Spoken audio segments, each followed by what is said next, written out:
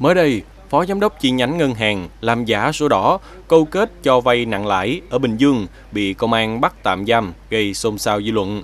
Vậy sự việc diễn biến thế nào?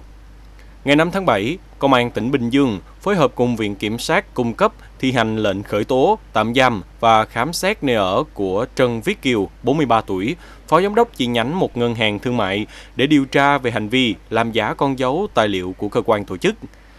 Theo điều tra ban đầu, Kiều khai nhận đã cùng các đồng phạm làm giả 3 giấy chứng nhận quyền sử dụng đất, sổ đỏ mang tên các cá nhân có nhu cầu vay vốn với mục đích đưa các giấy tờ giả vào ngân hàng để làm thủ tục.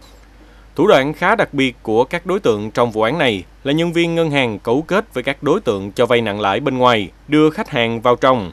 Cụ thể, nhóm đối tượng cho vay móc nối với nhân viên ngân hàng để tìm kiếm các khách hàng cá nhân có nhu cầu vay số tiền lớn trong thời gian ngắn để đáo hạn ngân hàng. Nhân viên ngân hàng tiếp nhận hồ sơ, đồng ý chuyển khoản trước một phần tiền cho khách hàng vay. Nhưng thực chất, số tiền giải ngân trước này không phải của ngân hàng mà của các đối tượng cho vay bên ngoài. Sau một thời gian, nhân viên ngân hàng thông báo hồ sơ vay của khách hàng không được ngân hàng thông qua. Nhóm đối tượng yêu cầu khách hàng phải hoàn trả số tiền giải ngân trước bao gồm gốc và lãi 0,4 đến 0,5% một ngày.